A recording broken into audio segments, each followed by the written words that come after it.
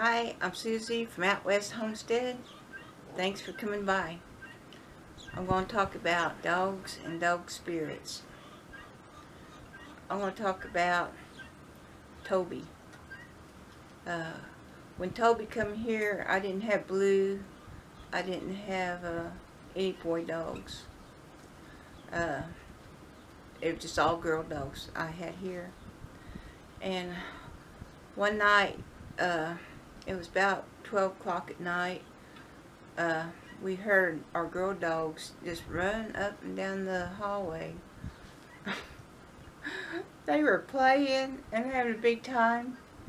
And uh, we thought, well, what's going on with them? And, uh, and what happened, uh, I don't know where Toby come from. Uh, that night we didn't hear no truck a car come down at the end of the road because we're at a dead end. We didn't hear, you know, nothing like that to wake us up. All we heard was the dogs, the girl dogs playing. And uh, so Bill says, uh, I think I think there's a new dog in the house. and uh, it was a new dog. It was Toby. And if you think about it, he had we had the uh, all the gates shut uh, to the driveway, so he got over the driveway gate, and then right out here we got a backyard gate. He got over that. I feel like the girls probably seen him and, and told him, "Come on in." they were so happy to see a boy dog, and uh, of course they're all fixed, but they just you know was happy to see Toby. So he, he got through that gate, got over it, and then uh, we didn't have the back porch then, but we had a doggy door right there. And he, he'd come in a doggy door, and, and most dogs have to be trained for a doggy door. But uh, the girls probably showed him, like, come on in the house. And uh, so he went through that doggy door, and uh, they probably said, come down the hall, uh, I want to show you mom and daddy's. And they was all just so happy to have Toby. So, uh, we both sit up in bed like, well, what's going on? And, uh, it was dark. And Toby, he jumps up and he comes up to me and he, and he gets right in my arms and just lays down. And he takes a, a deep breath just like he's home. And who he felt like was my dog Dusty. It just made me feel of Dusty all over. I didn't know what Toby looked like. I didn't know if he was boy or girl. So I was laying there in bed with Toby in my arms. And uh, I didn't know what he looked like or what he was or anything until the morning. And I fell asleep, and he fell asleep, and Bill fell asleep. But I thought, uh, you know, Toby um, shies away from people.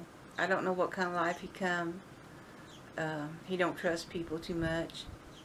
But that night, he just curled up in my arms. And uh, I, you know, I just hugged him back. It just, I just felt like Dusty was home, like Dusty come home. It just had that feel. And even uh, Bill felt that, like it was dusty. And uh, it made me feel so good because I could feel dusty, you know, when I hugged him. And uh, so I think maybe uh, Dusty showed him the way in. And Dusty had him come here. Because uh, I didn't hear no cars or truck or anything, you know, where they would dump off a dog. And usually if, if you dump off a dog, and take off, they would follow that car or truck up the road. But he was right there at the gate. Somehow he come here. It's just like uh, how Sonny come here, and he didn't want to leave. Uh, but anyway, that spirit, I could feel Dusty's spirit, and so could Bill. So I wonder if uh, dog spirits could enter a dog like, let's go home uh, maybe Toby was dumped somewhere and lost. And uh, Dusty just, like, I'll show you the way home. And, and Dusty brought him to us. So, uh, anyway, that's what me and Bill thinks. I know it sounds kind of hokey pokey, but that's what we think. Dusty brought him to us. And uh, if you just know how, Toby is not like to be around people, quite shy about it. He looks at you suspicious. And then that night he just uh, jumped up in my arms and just took that deep breath and he relaxed. And uh, I don't know how far he traveled, but he just went right to sleep in my arms. And I went to sleep too. And I had a comfort feeling like it was Dusty. But uh, who knows if uh, dog spirits uh, don't come into a, a, body of a dog, because I don't know. But um, even Belle, um, we see our, our dog Tessie, uh, we see her spirit in, uh, in Belle. Uh, Tessie was our hunter, and she does exact same thing Tessie did. And uh, Tessie would look all sweet and cute at us, and Belle does too. She reminds us so much of Tessie, and her color is quite the same too. Uh, we've been missing Tessie a lot, a whole lot, and uh, Belle has taken that place, you know, of Tessie and made us feel better. I still miss Tessie, but it's almost like uh, Tessie's got that spirit in, in Belle. So, uh, I don't know if that is our imagination or it, if it's possible that uh, your dog could come home in a different dog. I feel like uh, Dusty Spirit was in Toby and Toby is just like glue to me. Uh, I don't know why, but he always watches for me. He's always by me somewhere. Uh, he can't hear now, so I'll have to make sure when I leave the garden or something, make sure he, if he's asleep, he can hear me. Because uh, he'll, he'll wake up and look for me, and I'll be in the house, and I can see him out looking.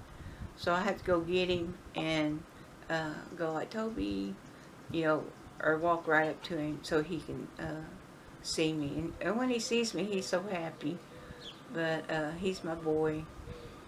And uh, I just want to tell you, about Toby coming in the house.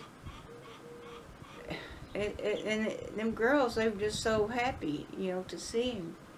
And, uh, you know, and he jumped up in my arms and just took that deep breath like, I'm home. And it just felt like Dusty. And, and it, had, it was a good feeling, too.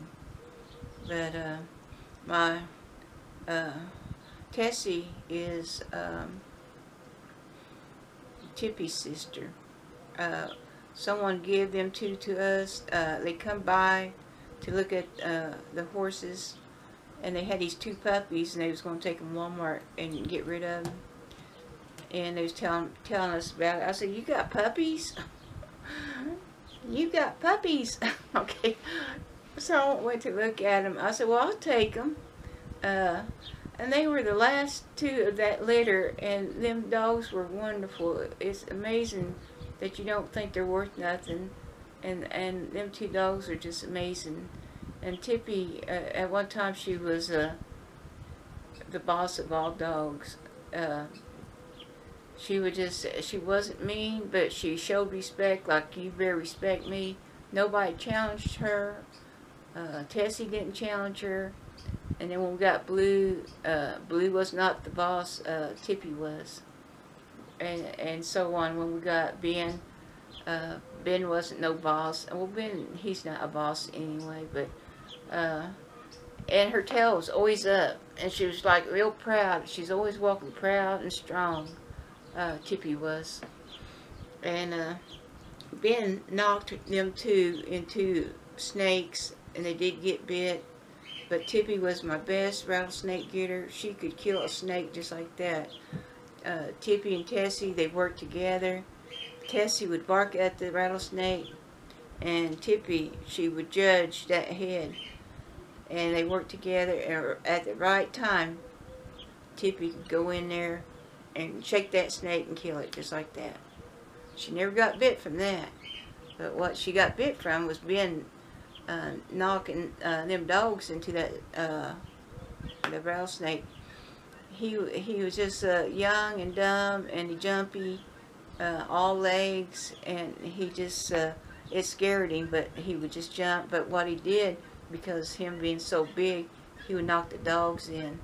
And then finally, Tippy was about to get that rattlesnake, and he was jumping around her, and he shoved her right into that rattlesnake, and it got her right in the eye. Well, that that day took uh, Tippy's power away.